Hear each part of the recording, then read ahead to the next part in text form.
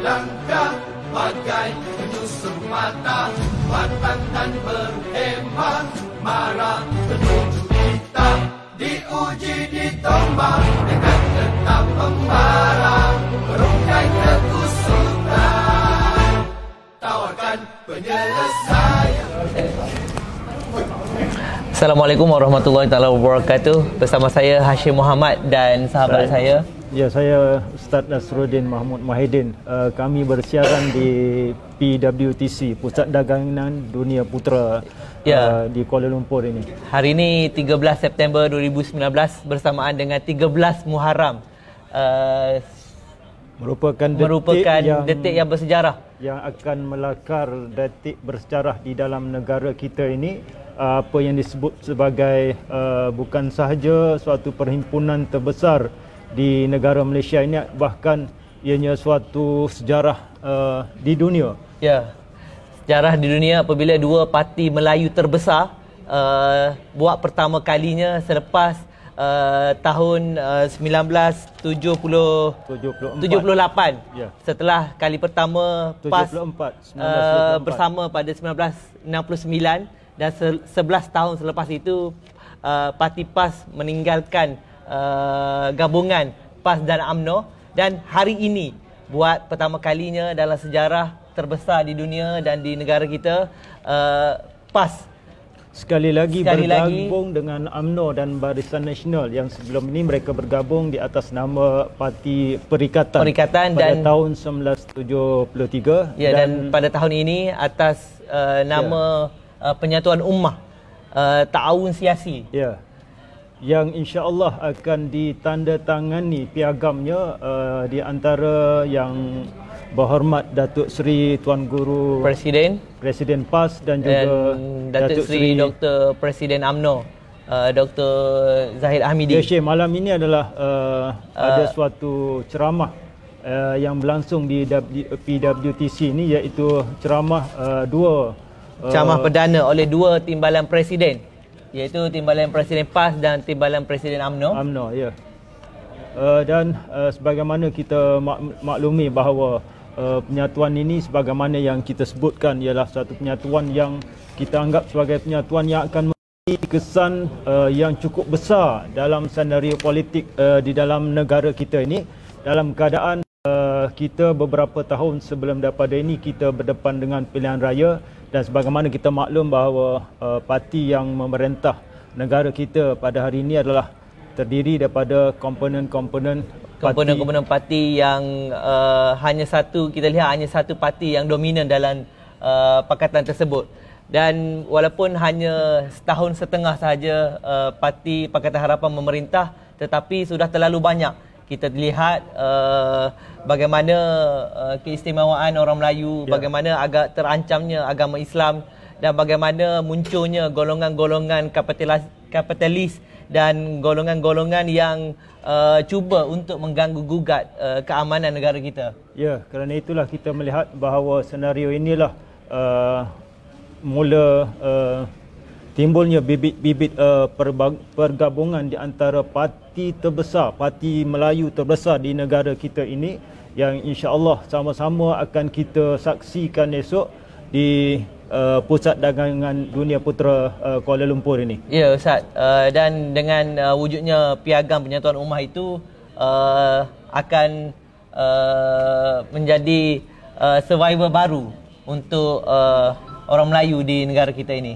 Ya kita mengharap bahawa uh, netizen di luar sana uh, tidak akan melepaskan peluang untuk uh, mengikuti siaran langsung esok di Ya. TV PAS Di ini. TV PAS Uh, bagaimana kita melihat detik-detik bersejarah ini yang akan kita percaya akan merubah suatu senario politik di negara kita ini lebih-lebih lagi apabila kita akan berdepan dengan pilihan raya umum uh, ke-15 yang, yang jangka- bila-bila masa saja lagi. bila-bila masa saja lagi yang mus- kemungkinan besar ianya tidak uh, sampai uh, me, menya, sampai tempoh uh, empat tahun Ya. pilihan raya Betul lima Ustaz. tahun ya Okey, rasanya uh, masa Kita beri tumpuan uh, kita beri tumpuan sepenuhnya. kepada ceramah perdana dua timbalan presiden pada malam ini iaitu uh, timbalan presiden PAS uh, yang berhormat Datuk Seri uh, Tuan Ibrahim Tuan Man dan yang berhormat uh, Datuk Seri Utama uh, Muhammad Hassan. Ya.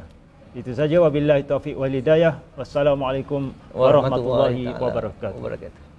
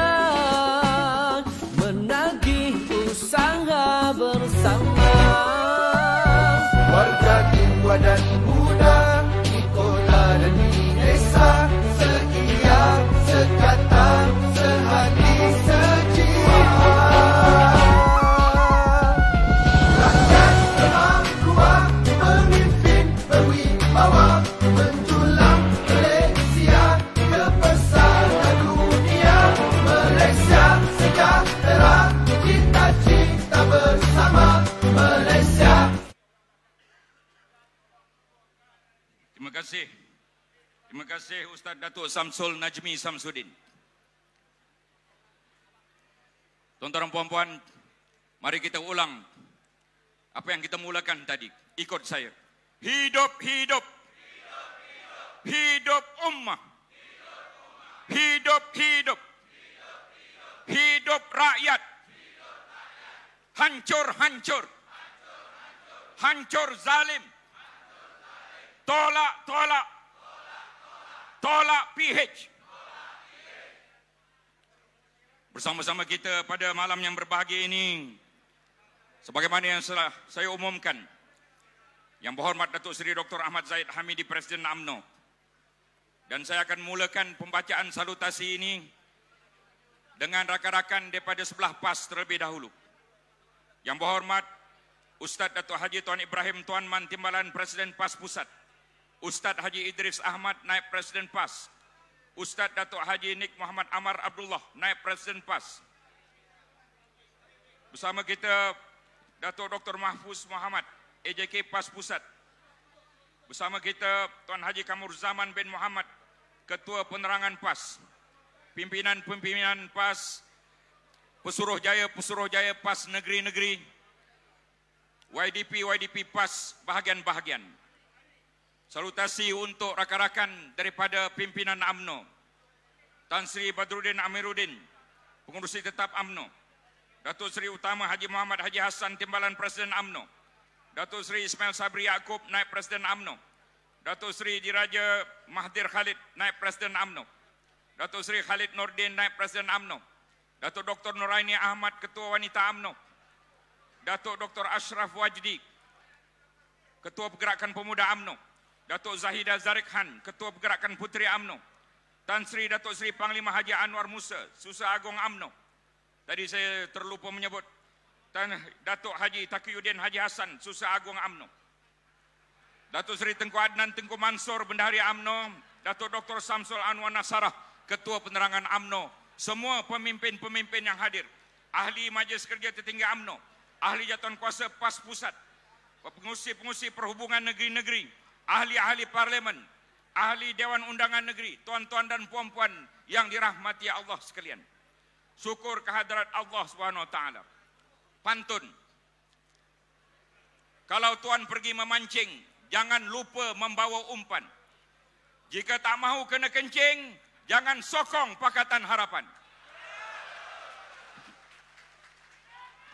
Itu pantun Ustaz Idris sebenarnya. Saya pinjam malam ni. Ada lagi pantun. Tanam ganja, tanam buluh. Ganti getah, ganti sawit. Sudah terang lagi bersuluh. Rakyat susah semakin sakit. Setuju tuan-tuan? Dua lagi. Pantang bukan sebarang pantang, pantang pertiwi dicabar jangan. Datang bukan sebarang datang, datang ke sini demi perjuangan.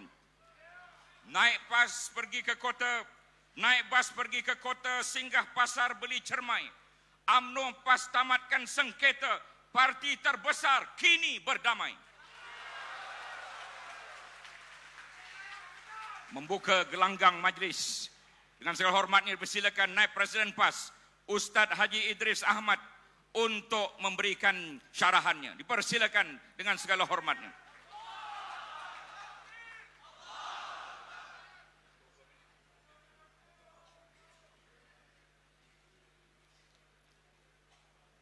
Assalamualaikum warahmatullahi wabarakatuh. Alhamdulillahi rabbil alamin.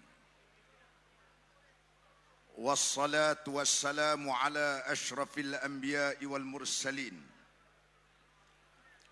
وعلى آله وأصحابه ومن تبعهم بإحسان إلى يوم الدين قال الله سبحانه وتعالى في كتابه العزيز واعتصموا بحبل الله جميعا ولا تفرقوا واذكروا نعمة الله عليكم إذ كنتم أعداء فألف بين قلوبكم فأصبحتم بنعمته إخوانا. Hendaklah kamu berpegang dengan tali Allah yakni dengan Islam. Dan jangan kamu berpecah belah.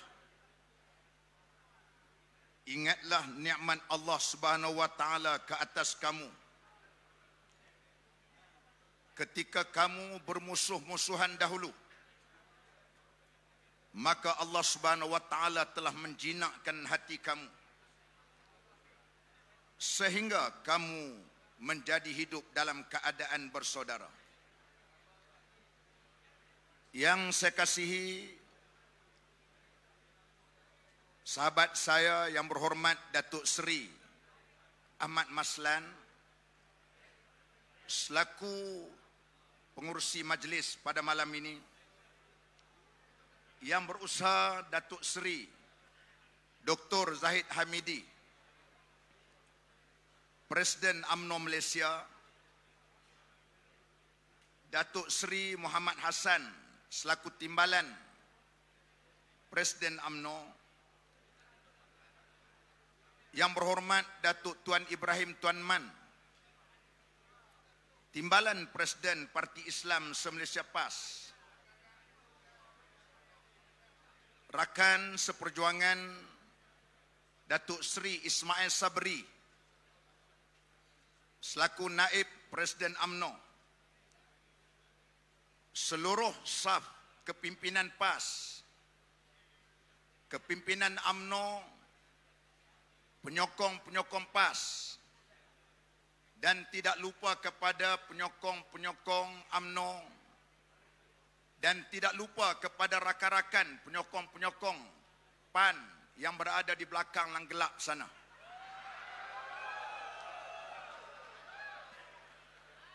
Terkilas ikan di air, ku tahu jantan betina. Siapa duk lang gelap, aku tahu apa patinya. Oleh kerana pengurusi memulakan dengan pantun, saya juga nak memulakan dengan dua rangkap pantun. Bila naik tingkat atas, jangan pijak lantai basah. Pas AMNO duduk sepentas, DAP PH menjadi resah.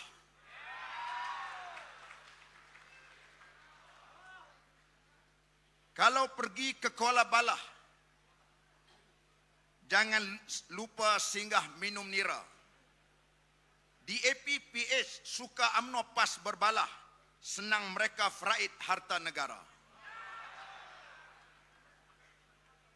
Tuan-tuan yang saya kasih sekalian, Alhamdulillah,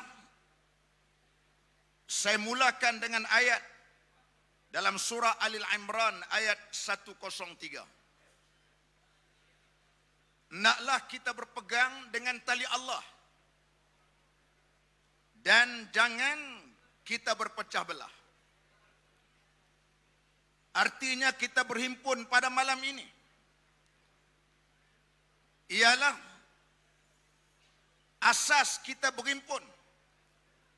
Tidak lain dan tidak bukan ialah kerana Islam dan kerana Allah. Betul atau tidak? Atas asas ini kita bina kesatuan dan perpaduan kita. Kerana inilah yang akan menjadi tonggak untuk kita membentuk gelombang arus kebangkitan rakyat terutama menjelang PRU yang ke-15 nanti. Perkara ini berlaku. Semuanya itu ialah kita beriman dengan qada dan qadar. Antara rukun iman kita kena beriman dengan qada dan qadar. Antaranya ialah apabila berlaku suatu kepada kita, kita sebagai orang beriman kena anggap itu ada hikmah yang tersurat dan tersirat. Kadang-kadang Allah Ta'ala bagi kepada kita sakit. Semuanya juga ada hikmah. Untuk mengisahkan kita. Untuk mengampunkan kesilapan dan dosa kita. Begitu juga kita lihat. Apabila keputusan pilihan raya umum yang ke-14. Pada 9 hari bulan 5 tahun 2018 keputusan yang semuanya kita tidak jangka. Semuanya merasakan PAS pada mulanya menganggap bahawasanya kita mampu untuk mendapat 40 kursi sebagai kingmaker. AMNO pula menganggap pertandingan tiga penyuruh baik karena membolehkan mereka menguasai dua per tiga di parlimen. Tiba-tiba bila buka peti undi tuan-tuan. Pas terterap amno tertungging. Memang kita tanda benda begitu. Tapi Allah Subhanahu wa taala menyebut asa an takrahu syai'an wa huwa khairul lakum. Mungkin ada benda yang kamu tak suka. Yang kamu benci tetapi baik untuk kamu. Kita tak suka menerima kekalahan itu. Walaupun kita sedar seperti mana setahun lebih PS memerintah kita lihat pada hari ini. Setiap hari kita buka akhbar, mendengar berita-berita, semuanya memberikan satu rasa insaf kepada kita semua. Maka Alhamdulillah, kalaulah UMNO masih berkuasa tuan-tuan, saya malam ni pun tak jejak PWTC. Betul tak? Malam ni ceramah tuan-tuan, saya ceramah Assalamualaikum, kata Kak UMNO. UMNO pula malam ni ceramah, kata Kak PAS. Tetapi dengan nikmat, apa yang kita tahu sebalik kekalahan ini, membolehkan kita duduk sepentas. Membolehkan kita duduk bersama-sama. Saya mula-mula apabila parti diputus memutuskan lima hari bulan tiga mesyuarat jawatan kuasa perunding sebelas di pihak PAS diketuai oleh Datuk Tuan Ibrahim Tuan Man sebelas di pihak AMNO oleh Datuk Seri Maasan bila mari pejabat AMNO ni tuan-tuan memanglah kita pun cuba bayangkan saya ni lahir dalam keluarga PAS orang panggil apa beranak langtung di PAS Tiba-tiba umur 56 tahun naik bangunan AMNO. Maklumlah bangunan AMNO ni canggih. Canggih sungguh. Lift dia kita tengok tak ada nak tekan, buka arah.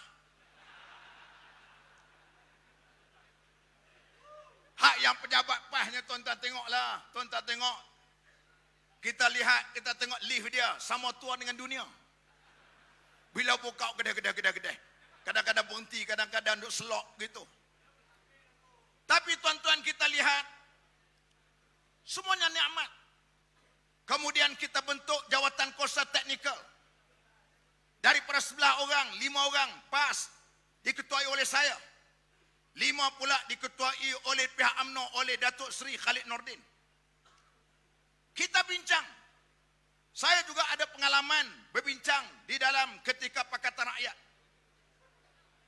Bila bincang jawatan kuasa teknikal ni tuan-tuan yang kita buat draft tu yang insya-Allah sebahagiannya akan ditandatangi besok tak sampai dua jam. Tak sampai dua jam. Pasal apa? Laras bahasa antar PAH dengan UMNO sama. Ini perkara yang kita cukup seronok. Dulu waktu kami duduk dalam pakatan rakyat nak bubuh pakatan Islam tu kita kona-kona baring, kena kona baring. Nak mari Raja Laut nu kena pusing kot segambut nu. Pasal apa? Nak ambil bahasa-bahasa sebagainya. Tapi kita ada ketegasan. Sebab itu apabila mereka sebut macam mana PAS boleh berkawan dengan UMNO. Saya jawab mudah ya saya kata. Lingua ing hak tak puasa Ramadan pun saya boleh berkawan. Takkanlah saya tak boleh berkawan dengan Datuk Sri Zahid Amidi yang semain isyak. Betul tak? Kami berkawan dengan siapa-siapa pun tuan-tuan. Asas kita ialah Islam. Sama juga sebab tu saya kata tadi laras bahasa mudah. Menyebabkan kita boleh bersama. Dulu kita berkawan dengan DAP. Kita kenal DAP. Datuk Zaid Hamidi kena di AP luar ya. Ni, pah ni kena kena luar dalam. Sebab itu kita kenal.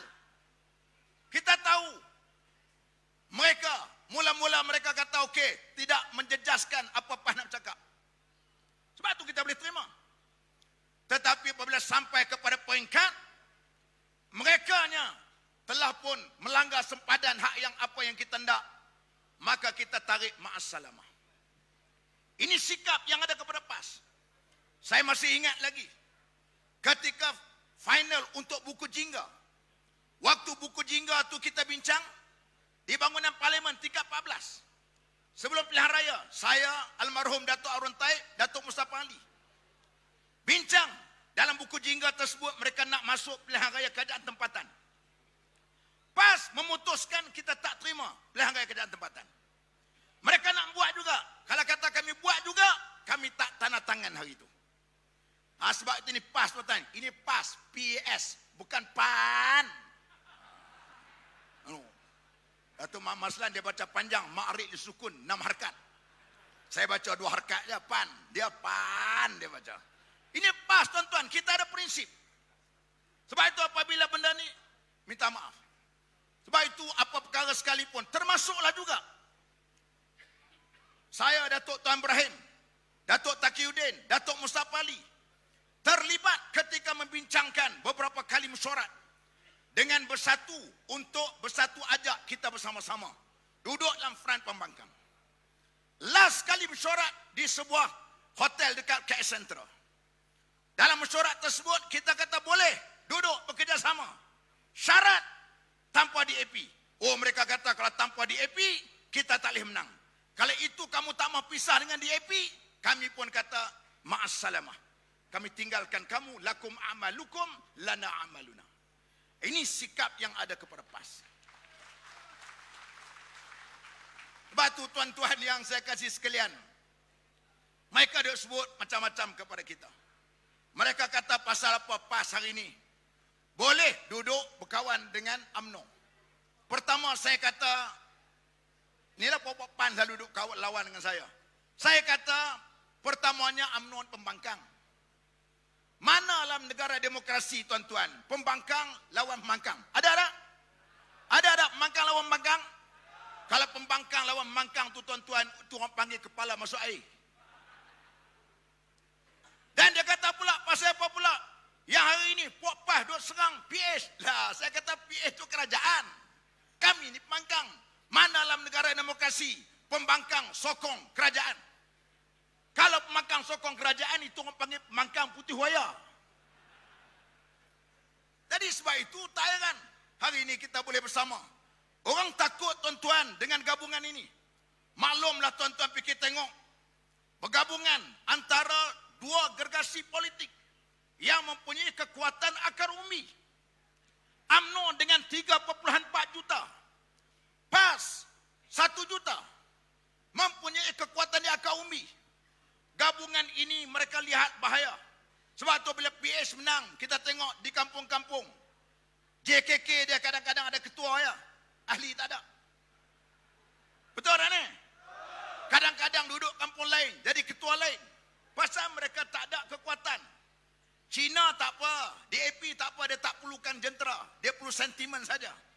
Jadi sebab itu tuan-tuan yang saya kasih sekali. Masa pun tidak izinkan. Akhirnya saya nak tinggal sedikit peringatan kepada rakyat Malaysia.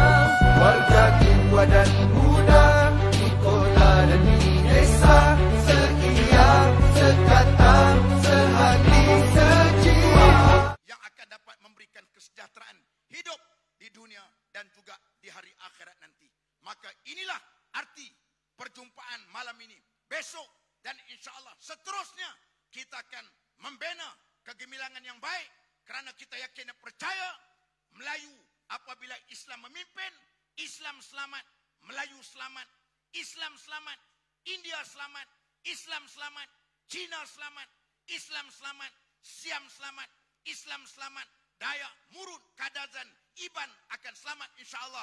Aku qawli hadza wa astaghfirullahal azim li wa lakum. Wassalamualaikum warahmatullahi wabarakatuh. Takbir. Takbir. Takbir. Terima kasih yang bahagia Ustaz Idris Ahmad. Bersama-sama kita tentunya dalam majlis ini Presiden AMNO yang mencipta sejarah kali pertama hadir di Muktamar Tahunan PAS di Terengganu pada 15 September 2018. Datuk Seri Dr. Ahmad Zahid Hamidi. Bersama pimpinan-pimpinan AMNO yang lain juga hadir ke Muktamar Tahunan PAS kedua di Pahang. Yang amat berhormat Menteri Besar Pahang ada di sini. Yang amat berhormat Menteri Besar Perlis ada di sini. Menteri Besar Terengganu dan Kelantan insyaAllah akan bersama juga dengan kita. Saya ingin menyebut seorang yang amat penting dalam perjuangan kita sehari dua ini. Beliau melaksanakan Himpunan Melayu Bangkit 1 September 2018. Himpunan Perpaduan Ummah 17 November 2018 yang dihadiri oleh dua-dua presiden. Himpunan Melayu Bangkit 2.0 30 Ogos 2019. Kita berikan penghargaan kepada yang berhormat Panglima Pasir Salak Datuk Seri Tajuddin Abdul Rahman. Jemput berdiri. Boleh. Kepalanya dah tak ada berapa berambut sebab banyak mikir perjuangan untuk ummah. InsyaAllah. Alhamdulillah. Kalau kita ada ramai pemimpin-pemimpin AMNO dan PAS macam Datuk Seri Tajuddin, tak sampai sepenggal kerajaan ini akan tombang tuan-puan insya-Allah. Tanpa melengahkan masa, saya dengan ini menjemput yang berhormat Datuk Seri Ismail Sabri Yaakob, Naib Presiden AMNO, Ketua Pembangkang Malaysia untuk menyampaikan ucapan beliau. Dipersilakan.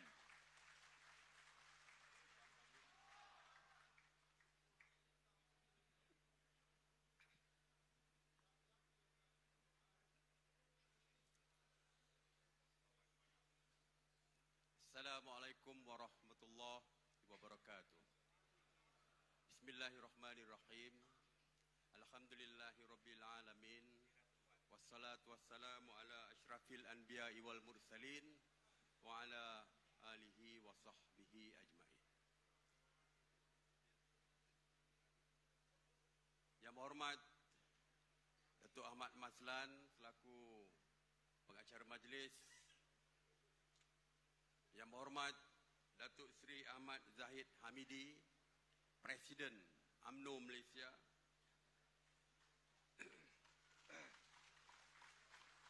Yang berhormat Datuk Seri Utama Muhammad bin Haji Hassan Timbalan Presiden UMNO Malaysia Yang berhormat Datuk Tuan Ibrahim Tuan Man Timbalan Presiden PAS Malaysia Yang berbahagia Ustaz Idris Ahmad Naib Presiden PAS Naib-naib Presiden AMNO Setiausaha Agung AMNO dan PAS Ketua Wanita AMNO serta Muslimat PAS Ketua Pergerakan Pemuda AMNO Malaysia beserta Ketua Pemuda PAS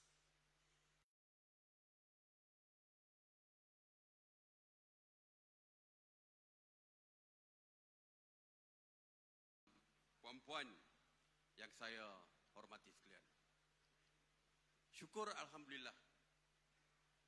Pada malam ini kita bersama-sama di dalam perhimpunan, di dalam majlis himpunan penyatuan ummah ini. Kita mencipta sejarah pada malam ini dan juga siang tadi.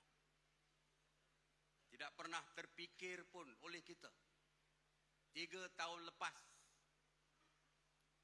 Rakan-rakan PAS tidak pernah terfikir, di dalam AMNO pun tidak pernah terfikir bahawa pada hari ini, pada hari ini, kita AMNO dan PAS bersama-sama di dataran AMNO, dataran PWTC pada malam ini.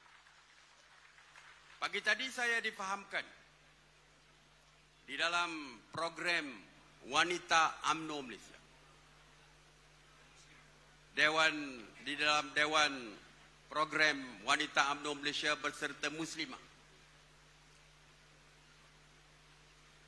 Lagu PAS dinyanyikan di dalam Dewan AMNO di PWTC.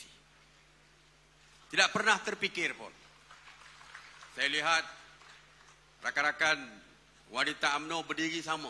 Tak tahu dia tahu menyanyi atau tidak. Tapi berdiri, bersemangat. Begitu juga dengan pemuda petang tadi. Saya berada di belakang. Melihat pemuda AMNO bersama dengan kepimpinan pemuda PAS di satu pentas di sini pada petang tadi. Tuan-tuan dan puan-puan. Hari ini kita lihat ramai rakan-rakan kita daripada PAS, daripada NGO, malah daripada mereka yang tidak berparti, yang tidak pun bersama NGO dan sebagainya. Berada bersama kita daripada siang hingga malam ini. Bermakna perhimpunan yang kita adakan hari ini bukan merupakan perhimpunan AMNO PAS mata-mata tetapi merupakan perhimpunan rakyat yang berkumpul untuk menentang kezaliman kerajaan yang ada pada hari ini.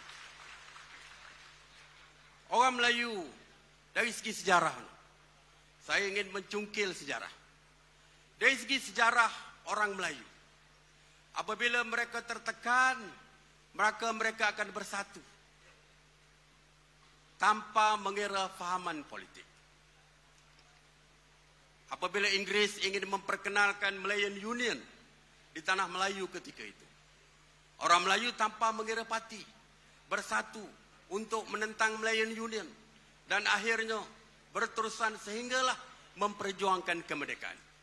Waktu itu kepimpinan-kepimpinan yang terlibat, kepimpinan nasionalis, Dato' On dan sebagainya, kepimpinan kepimpinan Islamik, Islamis yang terdiri daripada Dr. Burhanuddin Al-Helmi, sehingga kan kumpulan-kumpulan progresif kiri pun bersama bersama-sama berjuang untuk menentang Melayu Union dan seterusnya untuk menghalau Inggris keluar daripada negara kita. Bermakna apabila timbul isu yang mendesak, apabila timbul isu yang melibatkan kepentingan Islam dan Melayu, orang Melayu akan bersatu tanpa mengira fahaman politik. Selepas itu, selepas itu, apabila waktu itu dari segi keseimbangan pemilikan harta, kekayaan negara dan sebagainya tidak seimbang. Waktu itu apabila akses pendidikan kepada orang Melayu begitu teruk, begitu terbelakang dibanding dengan orang-orang lain kita. Akhirnya berlaku pertempuran yang melibatkan pertempuran pertempuran kaum di antara Melayu dan bukan Melayu yang mana sekali lagi orang Melayu bersatu akhirnya tertubuhlah Barisan Nasional di mana AMNO PAS pun duduk bersama di dalam satu gagasan iaitu Barisan Nasional. Bermana orang Melayu akan bersatu tanpa mengira parti apabila timbul isu yang menyebabkan Melayu terasa terhimpit dan sebagainya. Dan kali ini sekali lagi sekali lagi isu yang melibatkan kepentingan Melayu. Sekali ini isu yang melibatkan kepentingan Islam. Selepas pilihan raya apabila kita kalah dari dalam pilihan raya apabila AMNO kalah, PAS kalah dan kerajaan baru ini walaupun dipimpin oleh orang Melayu tetapi walaupun dipimpin oleh orang Melayu tetapi yang berada di belakang orang-orang Melayu itu adalah DAP. Segala dasar yang ada pada hari ini tidak menjaga kepentingan Melayu dan Islam tetapi menjaga kepentingan kaum DAP yang ada di dalam negara. Sebab itulah akhirnya kita rasa sedar kembali. Kita 70% penduduk negara ini terdiri daripada orang Melayu, bumi putra. 70, 69.7%. Dari segi umat Islam, 63% kalau tak silap saya, terdiri daripada umat Islam di negara kita. Tetapi agenda yang ada pada hari ini, adalah meminggirkan Islam. Agenda yang ada pada kerajaan hari ini adalah meminggirkan hak dan kepentingan Melayu. Sekali lagi, seperti yang saya sebutkan dari segi sejarah tadi. Sekali lagi orang Melayu merasa terhimpit. Sekali lagi orang Melayu merasa tertekan. Walaupun mereka penduduk yang ramai majoriti dan sebagainya. Sekali lagi mereka rasa tertekan oleh agenda kumpulan minoriti yang sangat sedikit di negara kita. Maka sekali lagi orang Melayu bersatu dan kali ini adalah penyatuan ummah di antara AMNO dan PAS yang kita yakin selepas ini kita akan kembali berkuasa dan kerajaan Melayu Islam akan kembali berkuasa. Tuan-tuan dan puan-puan, kalau kita lihat hari ini berbagai-bagai agenda telah pun dilaksanakan oleh mereka. Seperti yang kita tahu, Baru-baru ini kita lihat bagaimana isu yang melibatkan produk-produk halal yang dulunya di bawah JAKIM sekarang dipaham saya difahamkan akan dipindahkan kepada HDC dan sebagainya. Dulu saya walaupun bukan menteri ataupun timbalan menteri agama seperti ketua pemuda kita dan juga Datuk Jamihir tetapi waktu itu isu halal di bawah Kementerian Perdagangan Dalam Negeri, Koperasi dan Kepenggunaan di bawah saya. Waktu itu ada empat syarikat mengeluarkan logo halal. Empat syarikat. Sebab itu akhirnya timbul isu yang melibatkan keraguan umat Islam tentang halal, logo halal tersebut. Maka akhirnya kita satukan. Kita letakkan di bawah JAKIM dan JAKIM menjaga halal begitu baik sekali sehingga di luar negara pun mengiktiraf halal, logo halal yang dikeluarkan oleh JAKIM. Tetapi pada hari ini mereka ingin meletakkan di bawah HDC. HDC tersebut terletak di bawah Kementerian Keuangan dan kita tahu siapa Menteri Keuangan. Soal halal pun soal halal pun cuba diambil oleh mereka. Hari ini kita terdengar beberapa isu yang menakutkan kita. Di Pulau Pinang terjadi isu yang berkaitan dengan kad penalan palsu ini. Dan kita juga takut ini merupakan satu agenda. Saya difahamkan pengurusi SPA di dalam kenyataannya yang terbaru mengatakan bahawa mereka sedang membuat kajian sama ada untuk membuat pindaan kawasan parlimen berdasarkan jumlah pengundi.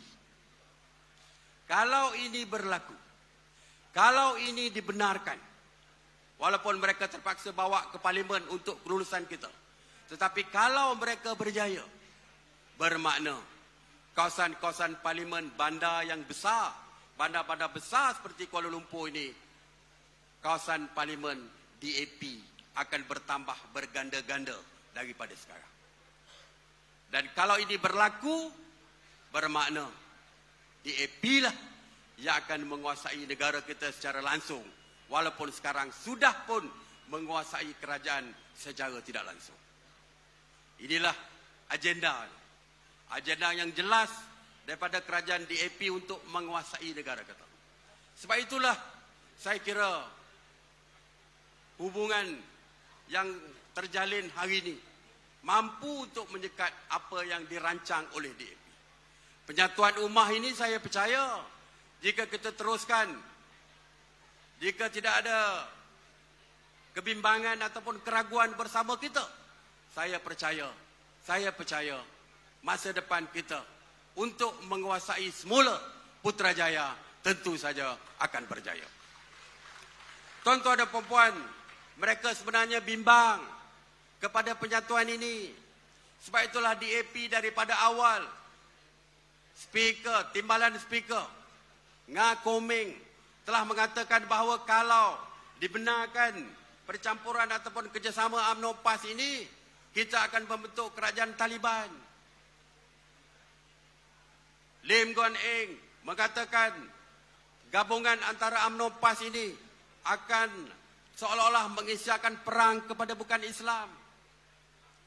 Mujahid, Menteri Agama, sepatutnya dia yang paling bersetuju dengan kerjasama UMNO PAS ini kerana untuk kekuatan ummah, untuk kekuatan umat Islam dan Melayu negara kita. Tetapi Mujahid pun sekarang mengeluarkan statement. Saya percaya di atas mereka sekarang sedang bermimpi dan mengigau buruk akibat daripada kerjasama UMNO PAS ini. Rafizi Rafizi petang tadi semalam dan juga petang tadi mengeluarkan kenyataan mengatakan bahawa perlu dicek jantina AMNO dan PAS sebelum dikahwinkan. Kita nak cek jantina Rafizi itu. Apa, siapa dia, apa dia. Sama ada Rafizi itu, jantina itu betul-betul seperti yang kita lihat ataupun sebaliknya. Tetapi mereka membuat komen seperti ini kerana apa? Kerana bimbang. Kerana bimbang tentang penyatuan ini. Kerana mereka bimbang bahawa dengan kekuatan yang ada ini mereka tidak mampu untuk menyekat kemarahan AMNO dan PAS untuk menumbangkan kerajaan pakatan yang ada pada ini. Sebab itulah berbagai-bagai statement dikeluarkan kepada mereka. Mujahid kalau dulunya mengigau adindaku. Dulu mesti kalau terkejut malam mengigau tu adindaku. Tapi sekarang mimpi dan igawan dia ternampak muka Datuk Zaid Hamidi dengan Tuan Guru Haji Hadi. Inilah yang berlaku hari ini. Dan saya percaya keadaan hari ini mereka akan terus mereka akan terus meracun pemikiran kita. Dan saya harap kita tidak terpengaruh dengan apa yang dibangkitkan oleh pemimpin-pemimpin Pakatan Harapan. Dua hari lepas, tiga hari lepas, dua hari lepas, Perdana Menteri mempersoalkan AMNO tentang fatwa yang dibangkitkan oleh Tuan Guru Haji Adi. Perkara itu seperti kata Presiden kita, perkara itu dah lama, UMNO dah lupa dah apa amanat yang dibangkitkan tersebut. Apa apabila kita menerima PAS, apabila kita menerima PAS sebagai sahabat kita, apabila kita bersetuju untuk menandatangani piagam dengan PAS, bermakna kita tidak fikir dah apa yang berlaku di belakang kita. Yang kita fikirkan adalah kehadapan. Yang kita fikirkan ialah untuk memastikan Islam selamat di negara kita. Yang kita nak pastikan adalah Melayu selamat di negara kita. Seperti saya sebutkan tadi, bahawa apabila kita terhimpit, kita akan bersatu untuk kepentingan agama kita, Islam dan Melayu. Sebab itulah saya harap kita jangan terpengaruh dengan agenda jahat daripada kerajaan yang ada pada ini. Mereka akan terus mengeluarkan statement-statement untuk memecahkan kita. Mereka akan terus cuba merosakkan hubungan di antara AMNO dan PAS. Tadi saya sebut sampai tiga contoh apabila Melayu akhirnya bersatu apabila terhimpit. Saya harap hubungan antara AMNO dan PAS ini bukan setakat hari ini, bukan setakat untuk menang pilihan raya dan menumbangkan kerajaan Pakatan Harapan yang zalim ini, tetapi hubungan kita mestilah selama-lamanya. Hubungan kita adalah hubungan yang nak mempertahankan agama, yang nak mempertahankan bangsa kita.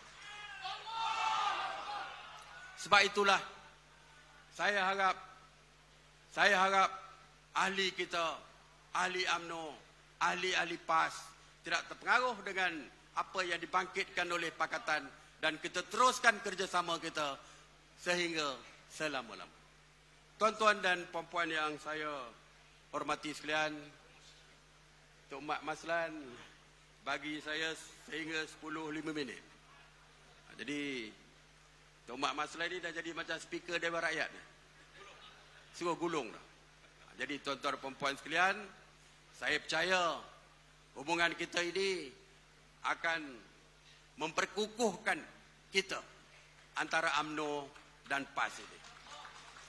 Percayalah, dari segi statistik pilihan raya yang lepas, hubungan kalaulah AMNO dengan PAS bersama sebelum PRU ke-14, undi majoriti yang diperolehi oleh AMNO dan PAS adalah 50.7%.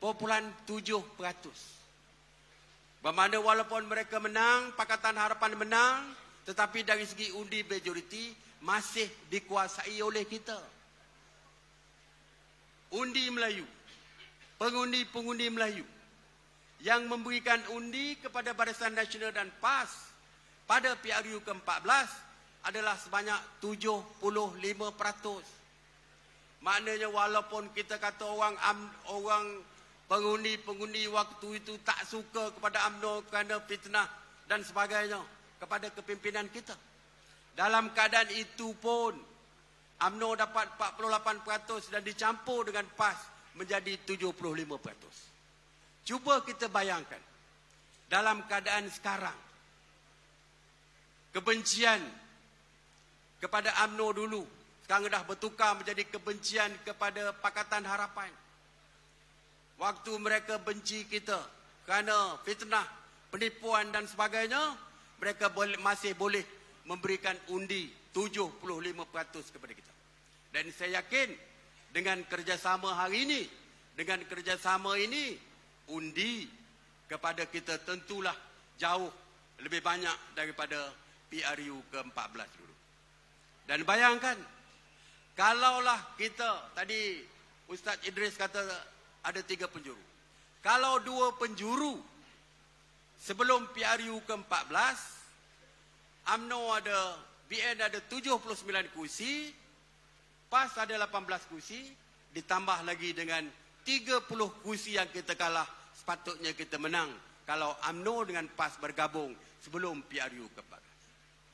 Bermakna atas kertas pun on paper kita sudah ada 127 kursi. Inilah sebenarnya yang membimbangkan mereka dan saya yakin kalau kerjasama ini diteruskan tanpa ragu-ragu oleh kita semua, oleh ahli dan semua kepimpinan dua parti, kalau kita teruskan perhubungan ini, kalau tadi saya sebut 127 kursi, saya yakin, saya yakin kita akan dapat lebih daripada kursi tersebut dan kita AMNO bersama-sama PAS akan berada di Putrajaya apabila PRU ke-15 diadakan kelak. dah lebih masa jadi saya sekali lagi mengucapkan tinggi-tinggi terima kasih kepada tuan-tuan dan puan Saya ni berpantun tak pandai. Sebab dulu saya bersyair je. Ha, jadi saya setakat itu saja. Terima kasih. Assalamualaikum warahmatullahi wabarakatuh. Takbir! Takbir! Takbir!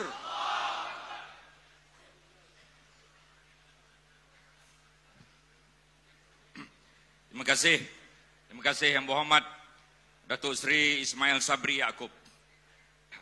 Pada 8 Disember 2018, Kuala Lumpur kita putihkan dengan ratusan ribu orang yang hadir. Himpunan membantah ISIS dan telah diuruskan oleh NGO-NGO seperti Ummah dan juga pimpinan UMNO dan juga PAS. Saya juga ingin mencatat di sini bahawa penyatuan ummah ini mula-mula telah dirintis sebelum PRU yang ke-14 lagi. Pada 4 Disember 2016, Perdana Menteri ketika itu Yang Amat Berhormat Datuk Seri Najib, Datuk Seri Dr. Ahmad Zahid, Timbalan Perdana Menteri, bersama Presiden PAS, bersama Timbalan Presiden PAS, di Stadium Titi Wangsa, kita mengadakan isu mengenai Rohingya. Kemudian pada 22 Disember 2017 di Masjid Putra Putrajaya. Perdana Menteri ketika itu Yang Berhormat Datuk Seri Najib bersama Yang Berhormat Datuk Seri Dr. Ahmad Zahid Timbalan Perdana Menteri PAS diwakili oleh Muhammad Khalil Abdul Hadi Ketua Dewan Pemuda PAS. Kita membantah isu Palestin. Berarti penyatuan ummah ini kita telah mulakan lebih awal. Dan untuk kita menyatakan rasa terhutang budi kita, rasa hormat kita. Mari kita laungkan laungan yang biasa didengar oleh anak-anak muda. Bila saya sebut malu apa, sebut bosku. Malu apa? Malu apa? Malu apa? Mudah-mudahan beliau dengar dan mudah-mudahan beliau akan ada bersama dengan kita esok. Tuan-tuan dan puan-puan, saya tak pernah menangis apabila mendengar khutbah Jumaat.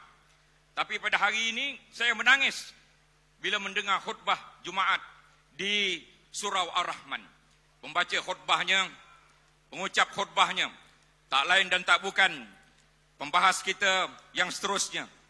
Pidato kita seterusnya dengan segala hormatnya dipersilakan. Yang berhormat Dato Ustaz Tuan Ibrahim Tuan Man untuk menyampaikan syarahan. Dipersilakan.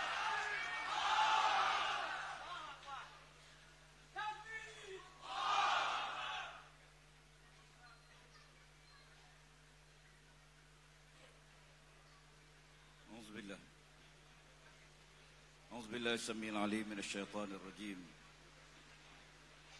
بسم الله الرحمن الرحيم. نحمد الله تعالى ونشكره ونصلي ونسلم على حبيبنا المصطفى وآله. أشهد أن لا إله إلا الله وحده لا شريك له. وأشهد أن سيدنا محمدا عبده ورسوله. اللهم صل وسلم وبارك على سيدنا وحبيبنا المصطفى صلى الله عليه وسلم وعلى آله وأصحابه ومن اهتدى بهديه وتمسك بسنته إلى يوم الدين Yang dihormati Dr. Sri Ahmad Maslan Fungsi majlis pada malam ini yang saya pun tak tahu beliau menangis. Kalau saya tahu dia menangis, saya sambung lagi khutbah tadi. Terima kasih atas penghargaan. Yang berhormat Datuk Seri Dr. Ahmad Zaid Hamidi, Presiden UMNO. Yang berhormat Datuk Seri Utama Haji Muhammad Haji Hassan, Timbalan Presiden UMNO. Yang berhormat Ustaz Idris Ahmad Naib Presiden PAS Yang berhormat Datuk Seri Ismail Sabri bin Yaakob Naib Presiden UMNO seluruh sah kepimpinan majlis kepimpinan kedua-dua parti daripada AMNO dan PAS yang saya tidak sebut satu persatu. Mohon maaf. Dev-dev kehormat seluruh sah kepimpinan badan-badan bukan kerajaan NGO NGI Hadirin hadirat yang dirahmati Allah sekalian. Assalamualaikum warahmatullahi wabarakatuh. Dan salam sejahtera. Malam ini malam purnama. Malam ini juga malam perayaan Tanglung. Dan malam ini ialah malam perpaduan ummah. Kita berhimpun di sini melakar sejarah politik Malaysia. Dua parti terbesar umat Islam orang Melayu di Malaysia. Setelah kedua-duanya memilih jalan politik masing-masing.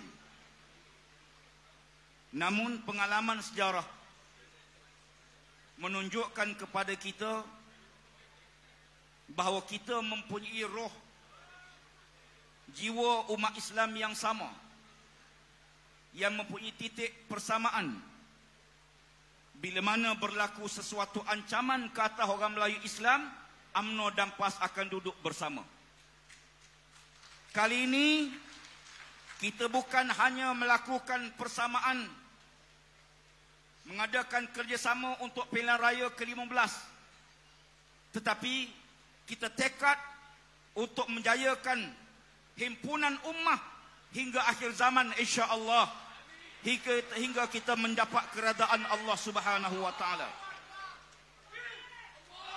Sabda Nabi sallallahu alaihi wasallam Al-mu'minul qawi khairun wa ahabbu ila Allah minal mu'minid dha'if wa fi kulli khair ihris ala ma yanfa'uka wasta'iz billah wala ta'jaz Sesungguhnya orang mukmin yang kuat itu lebih dikasihi oleh Allah daripada orang mukmin yang lemah. Walaupun pada keduanya ada kebaikan. Segeralah laku sesuatu sekiranya ia mendatangkan kebaikan dan manfaat kepada kamu dan jangan lemah semangat. Tuan-tuan sekalian,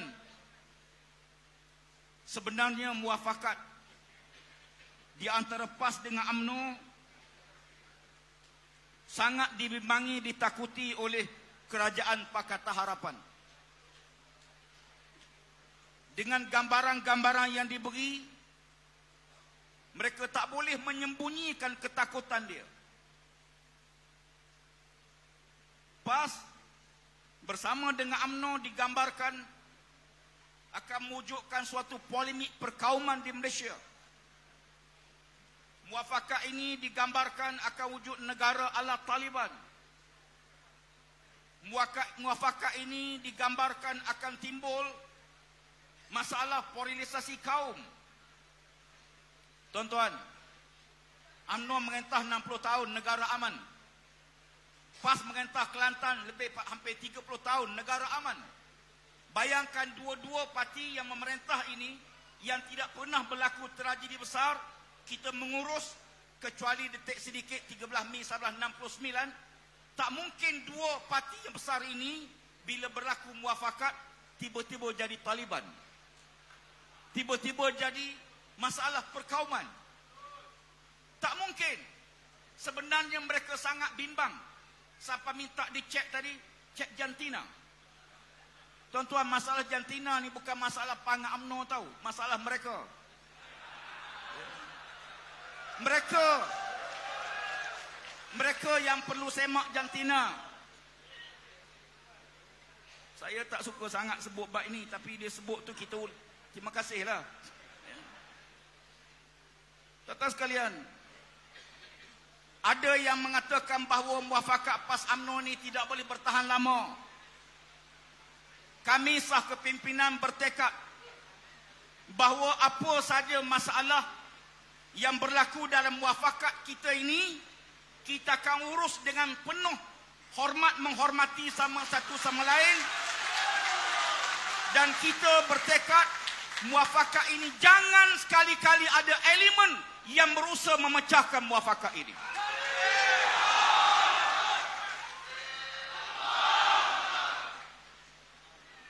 Kuntum khaira ummah. Ukhrijat lin-nas. Ta'muruna bil ma'ruf. Wa tanhauna 'anil munkar. Wa tu'minuna billah. Walau amana al-kitabi lakana khairan lahum. Minhumul mu'minuna wa fasiqun Allah Taala berfirman kamu adalah sebaik-baik ummah yang dikeluarkan kepada manusia menyuruh yang ma'ruf mencegah yang mungkar dan beriman dengan Allah Subhanahu wa taala Kalaulah ahli kita itu beriman kepada Allah, mereka lebih baik bagi kamu daripada kamu. Sebab itu kalau kita lihat kerajaan yang ada hari ini ibarat seorang pesakit kanser yang kronik tahap empat. Doktor kata boleh bawa balik dah pak cik ni ke rumah. Dan bila sampai di rumah Bolehlah panggil Papa Imam Baca Yasin Panggillah anak-anak Dan kalau dia nak sesuatu bagi Kalau dia rasa nak makan nasi lemak bagi Sebab umurnya tak lama Kalau dia rasa nak pergi jumpa kawan-kawan lama bagi. Sebab usianya mungkin tidak lama. Tuan-tuan, kerajaan yang menang dengan fitnah tidak mungkin boleh bertahan lama insya-Allah. Kerajaan yang menang dengan fitnah tidak mampu bertahan dengan kebangkitan rakyat untuk membetulkan keadaan yang berlaku. kerana kebenaran walaupun mungkin mengambil masa tetapi bila dibangkit dia akan kekal dengan kebenaran tersebut. Manakala kebatilan mungkin dapat menarik perhatian tetapi yakinlah dia tidak mampu bertahan karena sifat batil bercanggah dengan fitrah yang ada pada manusia. Ini janji Allah Subhanahu wa taala. Sebab itu bagi kita tidak ada suatu parti sehebat PAS dengan AMNO yang punya rangkaian sampai ke peringkat akar umbi yang mampu kita urus dengan penuh hormat, dengan penuh cermat, melainkan PAS dengan AMNO lah dalam negara ini insya-Allah. Sebab itu tuan-tuan sekalian, bila mana kita berhadapan dengan pelbagai kemeluk yang berlaku.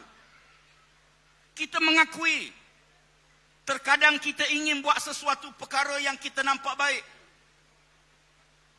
Boleh jadi pada pandangan kita mungkin tidak sama dengan pandangan Allah Taala.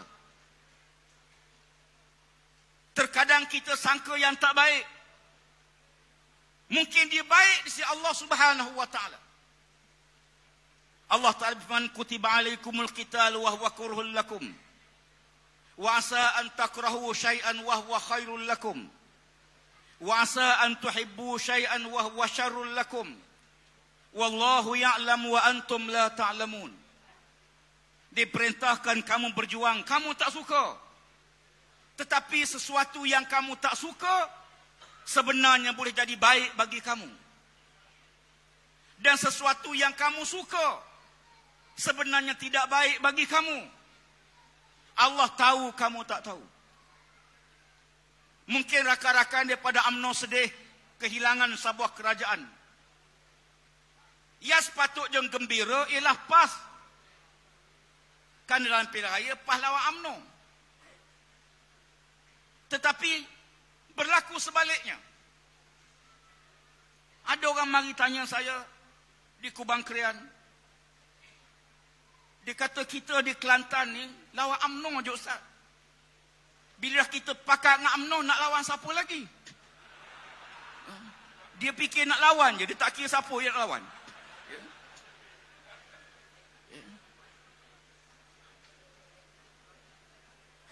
Sebab di Kelantan, Pakatan Harapan tak menang satu kursi pun. Adalah seorang yang lompat baru ni. Ya. Saya beritahu, perjuangan ini kena jelas. Sebab itu kita parti buat keputusan besar. Bukan mudah tuan-tuan.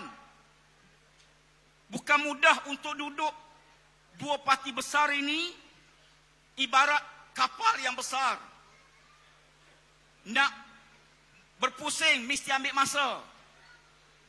Mengurus persepsi, mengurus ahli, mengurus kefahaman supaya strategi yang parti putus akan didokongi penuh oleh ahli kita di bawah insya-Allah.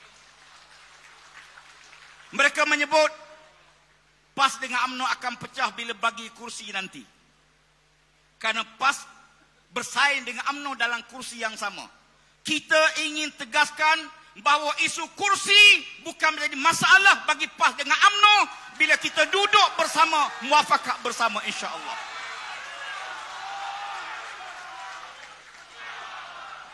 Tuan-tuan, kita bina kekuatan kita. Kita bina jati diri kita sebagai umat Islam. Apa maknanya bila Nabi sebut dalam hadis Al-Aimmatu min Quraishin Lantik ketua kamu di kalangan kaum Quraisy. Ulama-ulama termasuk Ibnu Khaldun menghuraikan maksud mana hadis ini Nabi kata pilih ketua di kalangan orang Quraisy.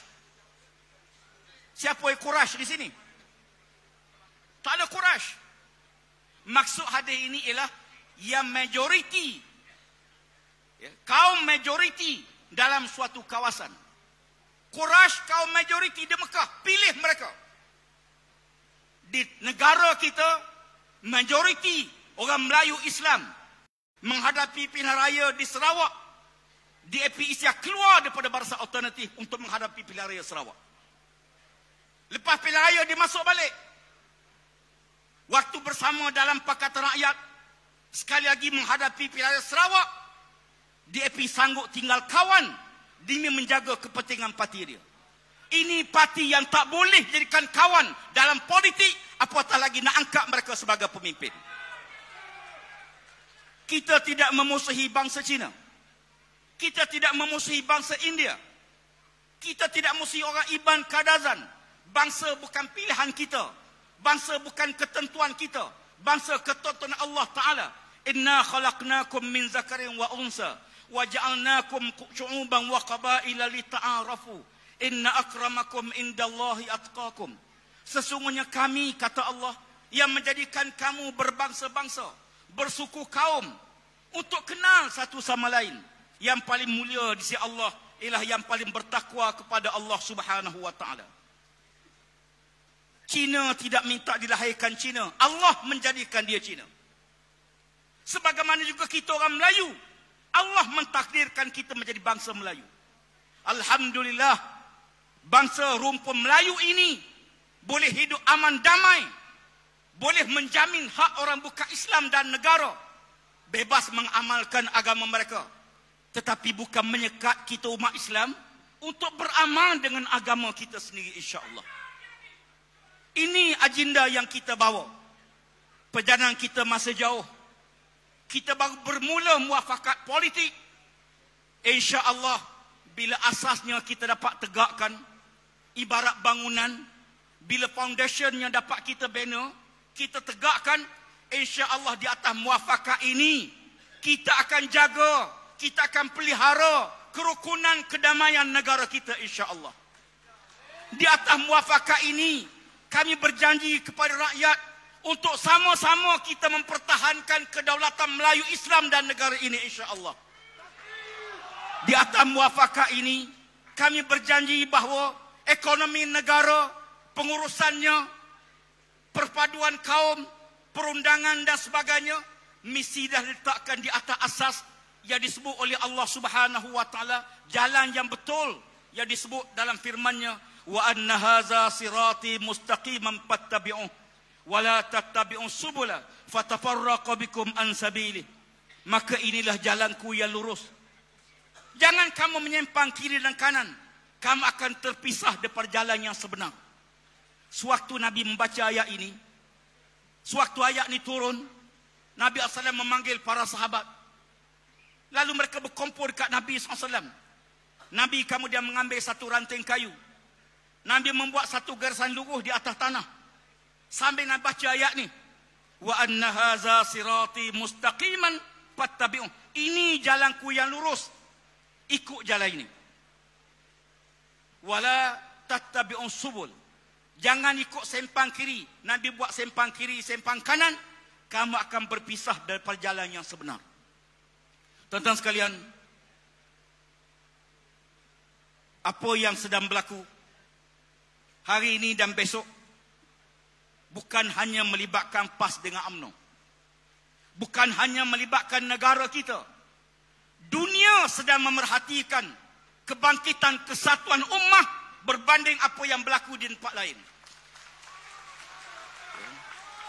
Saksikan apa yang berlaku di, di Asia Barat umat Islam hilang kekuatan kerana mereka berpecah.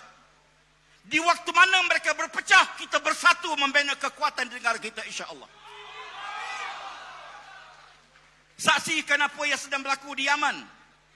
Mereka bukan hanya berjaya memecahkan antara umat Islam di Yaman. Mereka pecahkan negara Yaman Utara, Yaman Selatan. Sudan Utara, Sudan Selatan. Mereka berjaya pecahkan Libya, Iraq dan Syria di waktu mana dunia menyaksikan umat Islam diperkotak-katikkan di barat alhamdulillah kita berjaya membuktikan kesatuan kita menjadi model bagi umat Islam insya-Allah di dunia ini insya-Allah tuan sekalian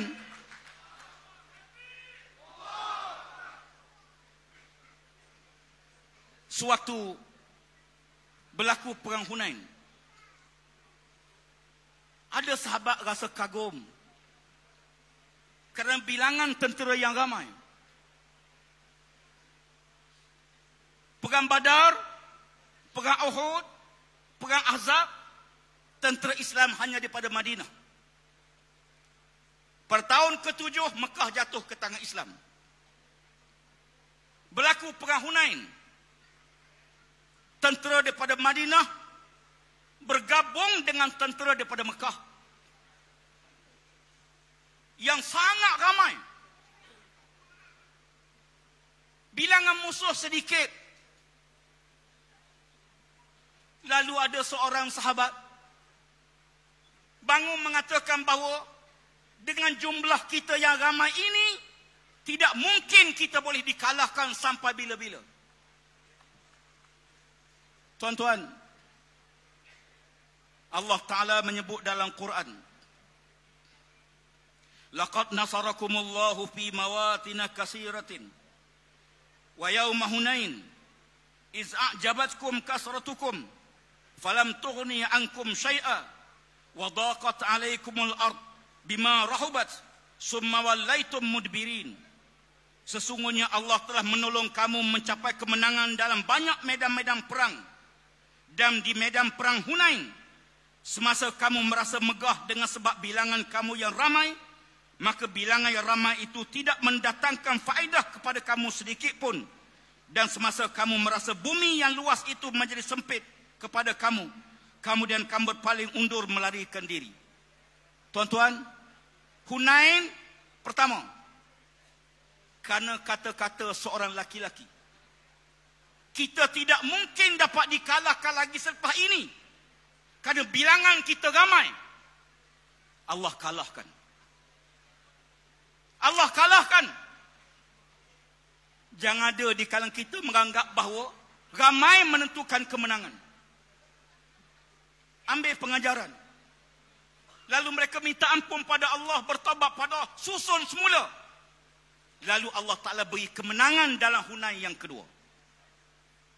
kita tidak mungkin boleh menang dengan jumlah yang ramai saja. Kalau di kalangan kita tidak ada kesedaran politik bagi membangunkan umat ini. Mari kita bina kekuatan ini. Bukan saya berimpun. Bukan sahabat ahli PAS dengan ahli UMNO. Mari kita jaga hubungan kita dengan Allah subhanahu wa ta'ala. Mari kita jaga hubungan kita dengan Allah. Ingat bahawa kita bergerak bukan semata-mata ingin mendapat kuasa untuk kemegahan dunia. Na'udzubillah.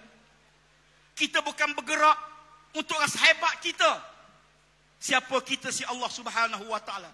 Tanpa pertolongan Allah, tidak mungkin kita boleh mencapai kemenangan.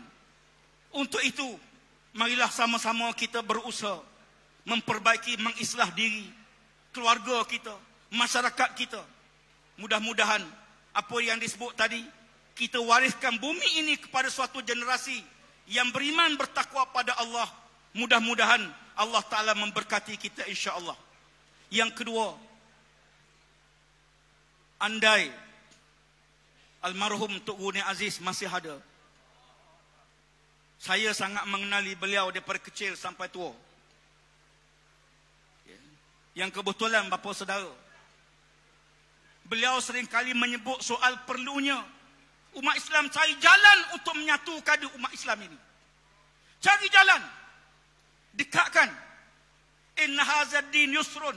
Walam yusadad din ahadun illa ghalabah. Fasaddidu. Wa qaribu. Wa yassiru. Wa bashiru. Wasta'inu bil ghadwati wa rawhati wa syai'im manduljah. Islam agama yang mudah kata Rasulullah. Jangan ada di kalangan kamu nyulik-nyulikkan urusan agama, kamu akan dikalahkan. Cari pendekatan. Dekatkan mereka. Gapakkan mereka. Gembirakan mereka. Permudahkan mereka. Mohon pertolongan Allah pada waktu pagi dan waktu petang. Insya Allah bersama-sama kita ada orang lama berjuang menangis melihat pah bersama dengan UMNO sekarang meniti air mata rasa gembira seronok melihat bagaimana umat ini akhirnya bersatu di medan negara kita insya-Allah. Tuan-tuan sekalian, kepada pemuda-pemuda, kami wariskan perjuangan ini kepada anda. Jadilah pemuda yang soleh. Jadi pemuda dibangga oleh Allah. Innahum fityatun amanu bi rabbihim wa zidnahum huda. Kepada ibu-ibu, anda melahirkan generasi masa depan. Ibu-ibu mampu membina, melahirkan ummah yang sanggup menggadai segala apa yang ada demi menegakkan mempertahankan agama Allah Subhanahu wa taala. Sepatah kata Soekarno, beri pada saya 10 orang pemuda, saya akan goncang dunia. Tapi jangan beri pada saya wala 100 orang tua, saya tak boleh buat apa-apa. Semoga Allah memberkati perjuangan kita, penyatuan kita pada malam ini dan jangan lupa besok kita akan putihkan Kuala Lumpur ini dengan kehadiran kita semua insya-Allah. Sekian. Assalamualaikum warahmatullahi wabarakatuh. Terima kasih. Terima kasih. Tuan-tuan dan puan sekalian, firman Allah Subhanahu wa taala dalam Al-Quran surah Muhammad ayat 7. A'udzubillahi minasyaitonir rajim. Ya ayyuhallazina amanu in tansurullaha yansurukum wa yusabbit aqdamakum. Wahai orang-orang yang beriman, jika kamu menolong agama Allah, Allah akan menolongmu dan meneguhkan kedudukanmu. Mudah-mudahan usaha kita datang ke sini kerana kita ingin menolong, membantu agama Allah insya-Allah. Sebelum kita mendengar ucapan yang akhir untuk malam ini, apa kata kalau kita bangun? Bangun. Sila bangun.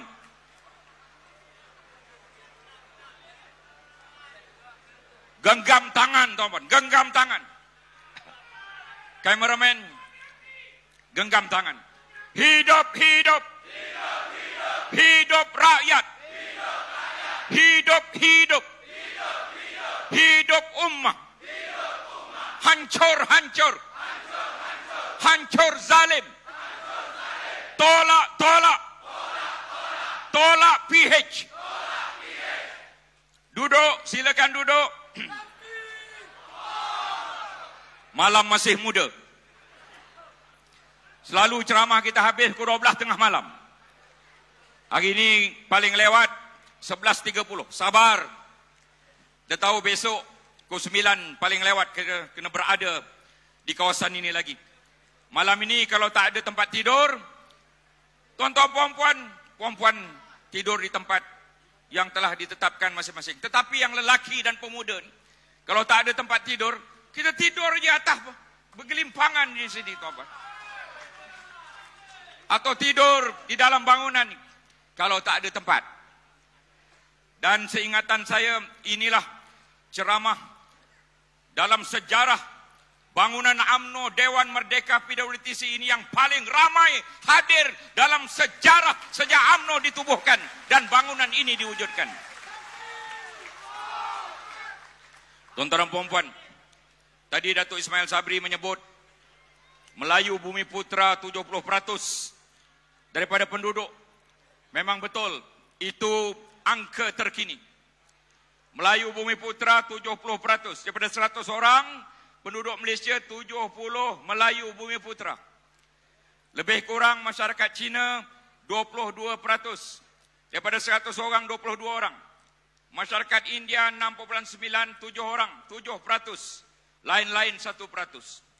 Tetapi di rantau special tuan-tuan. Di don rantau special. Melayu hanya 53.8%. China 18%, India 28%. Ikut sifir politik biasa. Rantau ini mana-mana calon AMNO memang tak boleh menang.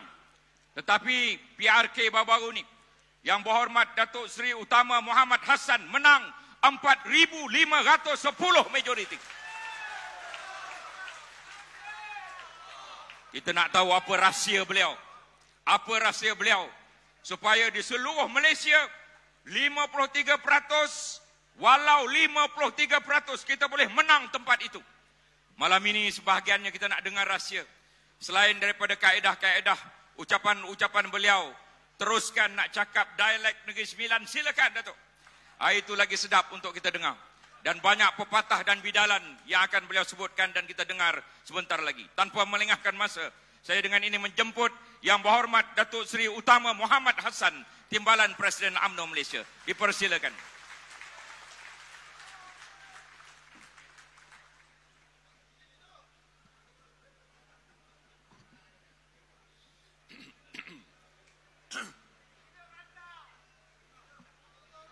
Hidup lah ni. Bismillahirrahmanirrahim. Innallaha ma'al ladzina taqaw wal ladzina hum muhsinun. Alhamdulillahirabbil alamin. Wassalatu wassalamu ala Muhammadin asyrafil mursalin wa ala alihi wa sahbihi ajmain. Assalamualaikum warahmatullahi wabarakatuh. Dan salam sejahtera. Terima kasih Datuk Seri Mat Maslan ataupun lebih dikenali dengan Datuk Mat GST dulu. Dululah ya. Yang berhormat Datuk Seri Dr. Ahmad Zahid bin Hamidi, Presiden AMNO yang kita kasihi. Terima kasih hadir Datuk Seri. Yang berhormat Datuk Tuan Ibrahim bin Tuan Man, Timbalan Presiden PAS Malaysia. Yang berhormat Ustaz Idris, Naib Presiden PAS. Yang berhormat Datuk Seri Ismail Sabri, Naib Presiden AMNO. Seluruh kepimpinan AMNO, kepimpinan PAS, seterusnya tuan-tuan dan puan-puan yang saya hormati sekalian. Pertamanya minta maaf saya pindah ke sini sebab situ rapat sangat nampaknya ada pula orang tarik kaki saya nanti susah pula saya. Tak ada ya? Tuan-tuan dan puan sekalian, tak adalah apa yang lebih membahagiakan kita selaku umat Melayu dan umat Islam pada hari ini melainkan melihatkan begitu ramai kita di dataran PWTC untuk menyatakan betapa kita mahu melihat supaya orang Melayu, orang Islam di tanah air ini tidak mampu untuk tidak bersatu ataupun tidak mampu untuk terus berpecah belah. Tuan-tuan dan puan-puan sekalian, berpecah belah kita akan lemah. Terus bersengketa kita akan terus menjadi orang yang lemah. Maka itu tuan-tuan puan sekalian pengajaran daripada apa yang telah kita lalui selama ini dan pengajaran yang paling besar sekali yang kita rasai terutamanya orang AMNO Datuk Tuan ialah tsunami politik pada 9 hari bulan Mei 2018. Jatuhlah noktah, titik noktah pentadbiran negara yang diurus oleh kaum majoriti di tanah air ini iaitu AMNO bersama dengan rakan-rakan telah pun mentadbir negara telah pun bersama-sama memerdekakan negara dan mentadbir selama 62 tahun. Jatuh titik noktah dia. Dan kalah begitu rupa dan kita terkejut bahawa kita sekian lama telah pun mentadbir negara membangunkan negara, berbakti kepada nusa dan bangsa, tetapi kita kalah. Maka itulah disebabkan oleh beberapa perkara yang kita semua tahu. Tak payahlah kita sebut mengapa kita kalah. Tetapi apa yang penting bagi kita mulai pada hari ini dan besok pagi titik sejarah yang paling besar dalam sejarah politik tanah air. Datuk Seri Zahid dan Datuk Seri Tuan Guru Abdul Hadi Awang akan mengistiharkan piagam penyatuan ummah antara PAS dan AMNO, AMNO dan PAS tuan-tuan puan sekalian. Dua parti politik Melayu Islam yang terbesar di tanah air telah pun menyedari bahawa tak boleh kita terus menerus bahawa tak boleh kita terus bersengketa dan berseteru. Yang menjadi mangsanya ialah anak bangsa. Yang menjadi mangsanya ialah agama dan bangsa. Maka sebab itulah, disebabkan itulah, atas kesedaran itulah, Ustaz Idris kata tadi, bila jabatan ataupun jatuan kuasa teknikal dua pihak AMNO dan PAS duduk bersama nak menggubal piagam, tak sampai satu jam, telah pun setuju kedua-dua pihak untuk kita menjadikan hasil perbincangan dua jatuan kuasa ini untuk ditandatangani oleh presiden-presiden kita pada besok hari. Tak seperti mana parti-parti lain yang terpaksa bertungkus lumus berbincang tentang kehendak parti-parti masing-masing. Tetapi AMNO dan PAS bak kata orang tua-tua, bahkan kan pinang di belah dua, pilih kita sirih pulang ke gagang, tuan-tuan dan perempuan sekalian. Maka kita telah dapat mencapai kata persetujuan, kata sepakat dan akhirnya kita bersetuju. Hasilnya, malam ini sejarah tuan-tuan puan sekalian, kita berada di atas pentas yang sama di PWTC untuk kita merungkai apa yang telah lama dinik yang diniatkan oleh orang-orang Melayu. Orang Melayu rindu kepada keadaan sebegini. Orang Melayu rindu kepada persepahaman sebegini. Maka insya-Allah Maka insya Allah tuan-tuan puan sekalian Benih yang sedang kita semai ini Mari kita sama-sama sirami Mari kita sama-sama bajai. Biarlah benih ini tumbuh dengan sempurna. Akan tumbuh sebagai pohon yang rendang. Untuk dapat kita berlindung bersama-sama. Untuk dapat kita berteduh sama-sama. Dan insya Allah jika berbuah pula nanti Kita makan buahnya sama-sama. Tuan-tuan dan perempuan sekalian. Janganlah kita pokok baru nak tumbuh, kita dah bercakap pasal nak makan buah. Ini pun satu perkara juga masalah. Jangan pokok baru nak tumbuh, kita dah kita dah cantas pucuk dia. Bagi peluang kepada pokok ini. Bagi peluang kepada benih yang baru kita tanam ini untuk tumbuh subur sesuburnya. Kerana pokok inilah yang akan menjadi sebagai waris kepada kita untuk kita mewarisi menghampakan satu negara yang aman dan damai di mana kita berjanji bahawa nasib masa depan anak bangsa kita, orang Melayu dan agama Islam, tanah air kita akan terus terjamin untuk masa-masa yang akan datang. InsyaAllah tuan-tuan puan sekalian. Jadi jangan risau. Jangan cepat melatah. Memanglah tuan-tuan puan sekalian, banyak orang yang mengeluarkan kenyataan-kenyataan yang kadang-kadang tak masuk akal. Malam ini kita berkumpul, bukan kita nak memecahkan pintu kedai. Malam ini kita berkumpul, bukan kita nak terbalikkan kereta. Malam ini juga kita berkumpul, bukan pada esok harinya kita nak merosakkan harta benda di Kuala Lumpur. Tetapi malam ini kita berkumpul tuan-tuan puan sekalian untuk menyatakan bahawa sudah sampai masanya orang Melayu Islam di tanah air ini bersatu dan menentang kemungkaran tuan-tuan puan sekalian. Betapa mungkanya Pakatan Harapan. Betapa mungkanya parti yang telah dapat memerintah negara atas asas fitnah bak kata Tuan Ibrahim tadi. Mereka memfitnah pemimpin kita. Memfitnah parti kita memfitnah kerajaan kita. Akhirnya kita terjatuh di atas fitnah yang tak dapat kita tepis tuan-tuan puan sekalian dan tsunami melanda pada pilihan raya ke-14. Pecah benteng kita. Benteng yang telah membentingi negara ini.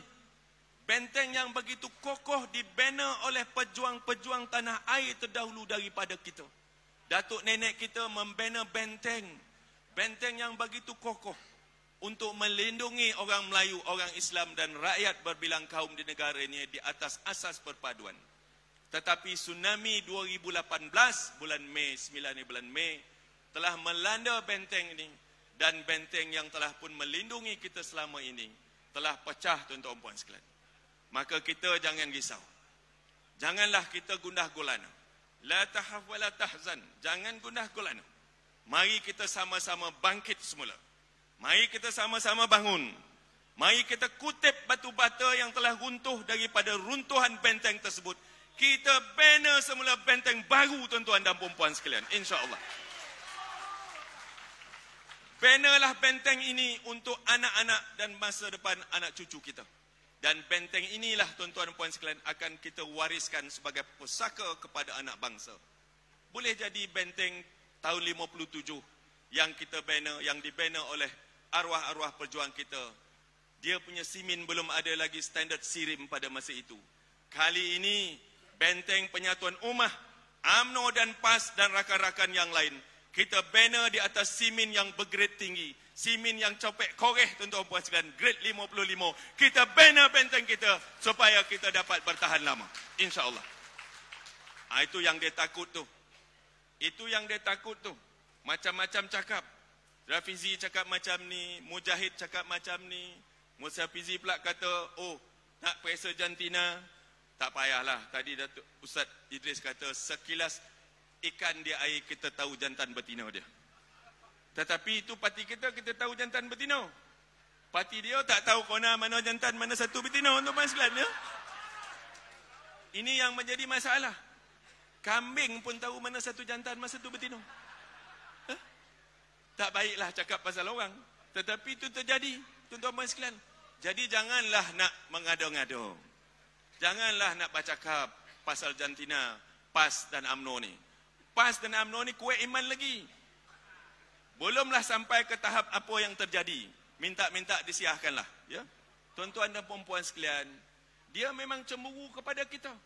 Tadi Ustaz Idris kata ramai yang duduk golap tu penyokong PAN.